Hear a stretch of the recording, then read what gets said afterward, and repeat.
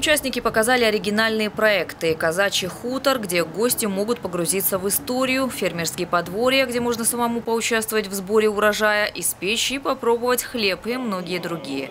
Свои идеи по развитию агротуризма презентовали и студенты. Задача такой экспозиции – в первую очередь поддержать сельский туризм. По мнению губернатора, который посетил выставку, это направление может стать одной из точек роста в регионе. В чем принцип и разница агротуриста от просто туриста? То есть э, задача ваша, чтобы он не увидел, а потрогал, попробовал. Понимаете, вот в чем разница. Потому что просто экскурсия – это видеть человек, это знакомиться э, как бы с бытом, с творчеством или с производством.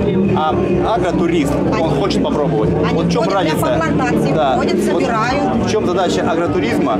Не увидеть, а попробовать. Собственными руками попробовать. Выставка проходит на Кубани второй год по инициативе председателя законодательного собрания Владимира Бикетова при поддержке краевой администрации. Ярмарка призвана не только показать, что у нас есть, но и учиться друг у друга, развивать эту тему, развивать это направление. Я убежден, что у нас все получится. И тогда большое количество людей сможет увидеть красоту нашей Кубани, красоту наших людей, которые здесь проживают, соприкоснуться э, с нашим бытом, историей, традициями. А Кубани есть чем гордиться, есть что показать. Также в рамках агротура назвали лучшие объекты сельского туризма по итогам прошлого года. Это конкурс, который также проходит под эгидой ЗСК. Его победители получили субсидии на развитие.